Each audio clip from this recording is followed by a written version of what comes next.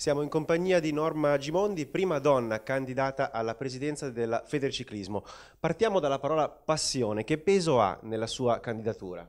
Passione ha avuto un peso fondamentale. Io amo il ciclismo, è lo sport della mia famiglia perché oltre ad aver avuto papà felice campione, ho avuto anche uno zio e un cugino che eh, sono stati professionisti in ambito ciclistico passione per, per, questo sport e devo dire che dalla mia presentazione, dalla mia candidatura oggi, sono stata fortunata, ho trovato sulla strada tante altre persone che lavorano con passione in questo sport e che mi incitano quotidianamente ad andare avanti in questa mia candidatura.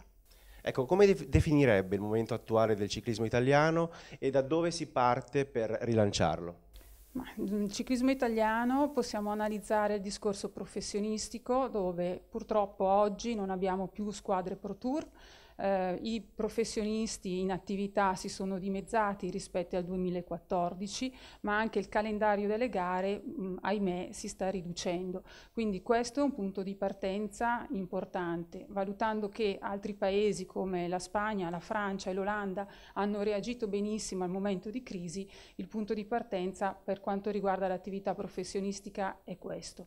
Dall'altro punto di vista invece che al settore amatoriale devo dire che lì eh, i numeri sono importanti sia per quanto riguarda società affiliate che per quanto riguarda i tesserati e anche manifestazioni di carattere internazionale che si svolgono sul nostro territorio raccolgono ogni, ogni anno numerosi partecipanti di tutte le nazionalità. Quello è senz'altro un bacino che la federazione dovrà sfruttare anche nei prossimi anni. Bene, quindi le chiedo anche se in questa particolare fase storica ha senso l'espressione Made in Italy.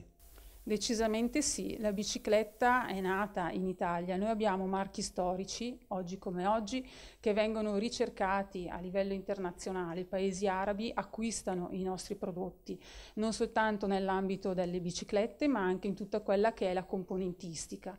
Ed è, ed è necessario trovare delle sinergie con i produttori italiani per portare avanti la federazione e valorizzare la maglia azzurra. Eh, spesso noi la vediamo in sella a una bicicletta, è giusto eh, definirla una candidata, diciamo così, legata al territorio e non da poltrona, insomma, per, per semplificare? Assolutamente, in bicicletta non smetterò mai di andare. Eh, anche ieri ho fatto all'incirca 60 km. È fondamentale per me andare in bicicletta perché mi fa sentire bene, ma anche perché entro in contatto davvero con altri appassionati che vivono come me il ciclismo con, con passione come momento di aggregazione.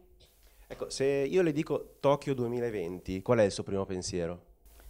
Beh, a Tokyo eh, c'è stato mio padre, ha corso le Olimpiadi, le ha disputate nel 1964 e quindi spero di poter essere a Tokyo nel 2020. E restando in tema di Olimpiadi, devo chiederle cosa pensa del no a Roma 2024. Eh, mi dispiace, un'occasione perduta. L'ultimissima domanda invece è una curiosità. Eh, da, cosa, da, dove nasce il nome Norma? Le è mai stato detto perché l'hanno chiamata Norma? Sì, eh, mia mamma è orfana di mamma, sua mamma si chiamava Norma e la mia nonna era stata chiamata così dalla mia bisnonna Natalina che era un amante dell'opera e quindi diede alla mia nonna questo nome, mancando lei mio papà e mia mamma hanno deciso di darla a me quando sono nata. Benissimo, ringraziamo eh, Norma Gimondi per la sua disponibilità. Questo è tutto. Simone Pace per datasport.it, Cologno Monzese, Milano.